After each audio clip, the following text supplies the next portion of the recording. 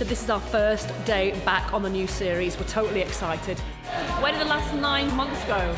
Strictly takes over your life, and then all of a sudden it sort of spits you out, and then you have Christmas. Then you go about your business, you're gone holidays, and then all of a sudden somebody phones you up and says, "Are you ready to put on some sequins?" And you go, "So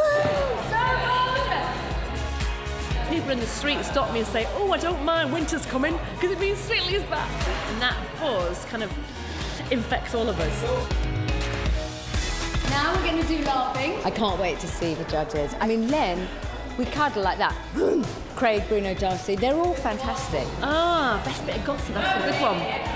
I've been hearing the professional dancers, the new ones. Hot. All our pros are so extraordinary. I could just watch them like that. Sometimes Anton goes, What are you doing, love? I'm like, just watching. Tess looks unbelievable. I'm going to have to eat her hair. What's she doing? Keep an eye on her. We have to pretend to be professional. And they want us to do this, look, we'll show you. Yeah, look strong. And all I want to do is.